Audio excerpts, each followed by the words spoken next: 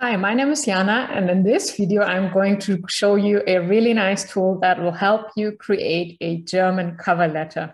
And I've decided to show you this tool because I know that a lot of you have been struggling with creating a German cover letter, meaning specifically um, writing a full text in German language. And let me tell you, writing a cover letter is a challenge for native speakers as well. So I can only imagine how difficult it must be if you don't speak German as a native language.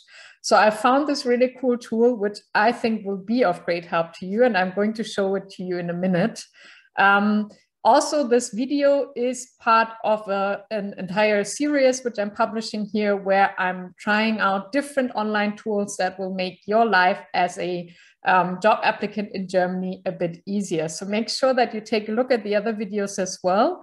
Um, I'm going to link them at the end of the video. I'm creating a playlist with all the videos and also make sure that you hit the subscribe button if you like my YouTube channel. I'd be really happy about it. Now let me share my screen with you. So the tool I'm going to show you is um, um, a tool you can use on a website called lebenslauf.com. So for those of you who have seen my last video um, where I tested lebenslauf.com as well to generated a um, um, German resume. This is the kind of follow-up video that I promised you, right? Um, so today I'm going to use the same website to create a cover letter in German language. And it's a tool which is um, offered by Xing. So Xing is a German equivalent um, to LinkedIn. Um, it's very similar. So in order to download um, the cover letter at the end, you would need a Xing profile, um, same as for the CV that I tested in the other video. Um, but I think even if you don't want to create a Xing profile, it's a very good source of inspiration. So you don't have to sign up at the beginning. You only have to sign up if you want to download the cover letter. So maybe it's also just a helpful source for inspiration if you don't want a Xing profile. I'll leave that up to you. In any case, maybe it could also be helpful to have one, right? Um, it's free of charge. Um, so if you want to learn about that, um, I also link another video at the end of um, this uh, video here um, where I talked about Xing versus LinkedIn. But now let's take a look at lebenslauf.com. Here you can see that it's in German language. I hope you're fine with that. Um, I kept the CV that I generated in my other video, and now I want to add a cover letter. So to do that, all I have to do would be to click here, and then bam, you get a fully written cover letter. It's really nice. It's a full text, and it comes with the same signature that I uploaded for um, the uh, resume also it comes with the full design and the design is in line with the one that I've chosen for the CV earlier. And I can also easily change it. So up here, for instance, I can change it, maybe choose one, let's choose one where you can really see how the design adapts. I choose this one. So if I click here, it changed the entire design, right? You can see that the colors are different, the font style is different and so on. But now I'll switch back to this one because personally I really like it, um, the blue design. So this is really nice. It comes with an address line where you can add the address of the company you're applying to, and then also with an address line for your personal address. So here I would say that's one of the downsides. It doesn't automatically pull your personal data from the CV that you created um, if you've been using it um, to generate a CV as well. So you would have to type that in manually. Um, but I think that's, yeah, easily done, right? Um, so you can just type in your data here.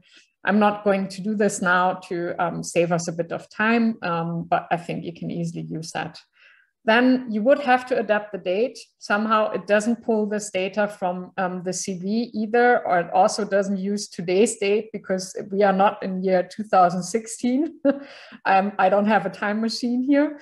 Um, so I would have to update that as well. So I would just type 22nd October 2021. That's today's date. But I think that's also easily done and it's nicely formatted. Now, here we can see the subject line, which is really important. So I've talked about this in my previous videos. Um, the subject line is really important because that's where you point out which position you're applying for. So make sure that you uh, type in the name of the position here because here it just says Mustermitarbeiter, which is um, yeah a kind of not a real term. So you would have to fill that in.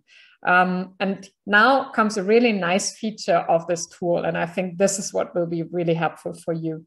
You have these different paragraphs, which are already a nice template, but you can even make changes to these paragraphs. So for instance, you can choose if you are applying to a job ad or if you're sending out a speculative application or if you were already in touch with the HR department or someone else within the company, and then it adapts the text automatically. So let's say I'm coming through a personal reference and I've already been in touch with them via email. See, there you go. I've adapted it and now the, the text is updated. So all I would have to do would be to um, change the title of the position. And I can do this here. So I can type in, let's say, marketing manager, and then it adopts, adapts this automatically. Also, I can choose what kind of position I'm applying for. So this is a permanent position, um, a full-time employment. But if you are a freelancer or if you are interning, if you're planning to do an internship or if you're applying for a working student position, it's all possible here. Really nice. Um, same goes for the other paragraphs. So here, um, in this paragraph, um, it, you talk about your current position and what you're currently doing. Again, it doesn't pull the data from your CV, unfortunately, so you have to type in the data manually.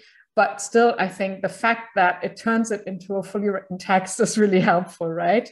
So you can type in the name, the title of your current position, and also if you are not employed at the moment, you can change it to something else. So if you're studying or if you're currently interning, you can just easily change that here. Um, and then also you can add your job title, the name of your current employer if you're working somewhere, and talk about your current tasks. So you can add up to three um, focus areas that you're currently working on. And I would recommend you to um, choose uh, the kind of wording that also occurs in your job ad. So I talked about that in uh, my video where I talk about ATS tools. I'll link it for you up here. Um, so it's really important to use the same keywords and you can make use of that here because you can type in um, words that you want to use. Also, another feature I didn't point out point that out yet. For every paragraph, you have three different options to choose from, like three different variations of the text. So if you don't like the paragraph, maybe you may want to change it. And then it uses the same features that you have selected here, but um, it just changes the, the way the text is written. Really nice. Then also you can, um, in the next paragraph, you can choose from different options of why you're interested in this company and why you're interested in this specific industry. Um, and also maybe why you think that this company is a good match for you. Um, so here you only have predefined um, uh, drop downs, which I think is a good inspiration, but maybe you can add something that's a bit more personal as well. Up to you, of course. Then in the last paragraphs, paragraph, it's all about your personal skills and competencies. And I know a lot of people struggle with, um, yeah, finding the right way of um, uh, explaining your uh, soft skills, for instance. So here um, you can choose from different soft skills that you want to highlight, for instance, about your way of working and other competencies. Um, so it lets you choose um, but again, you may want to add something that's uh, a bit more unique or in line with the job ad. And also, I would always recommend bringing in like a few uh, specific examples of where you have proven these skills. So that's not something which is, which is included here. I think it would also be difficult to include that in an automatic generator.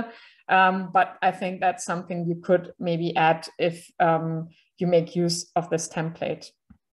And then we have the last paragraph where you don't have um, options to adapt um, the content, um, but it talks about availability here. So if you are not available immediately, you have to change that.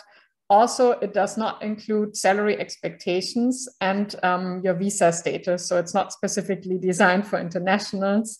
So for salary ex expectations, you can still find um, something here which you could copy. So it suggests something you could copy and paste it into the paragraph here. Also for your visa, you would have to add that manually if it's um, applicable for you, if you need a work visa to work in Germany. Um, if you're here on a student visa and want to highlight that um, you're already here and um, you are here on a student visa and you can convert it or something else, um, then make sure that you add it to the last paragraph and also make sure that you include your salary expectations if they ask for it. Um, so this is, yeah, I think all you can do here. And then in the end, you can um, download the file. Unfortunately, it only lets you download um, the file as a PDF file.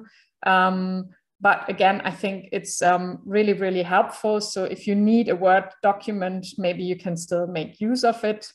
Um, and I think in general, it's a really cool tool because I know that writing a cover letter is a really big challenge.